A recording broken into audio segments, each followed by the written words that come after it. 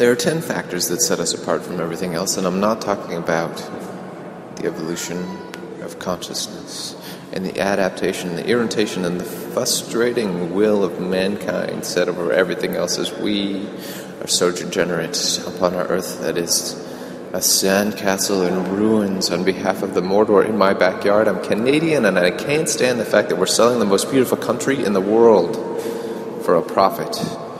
Could have set up wind farms, but instead we've got lakes of toxic sand that we're selling off as propaganda that this is ethical motherfucking oil.